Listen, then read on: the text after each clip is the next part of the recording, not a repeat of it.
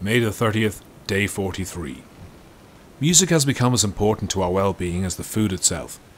Being in such close quarters this late in the crossing has breeded resentment among us, and the music keeps us more united.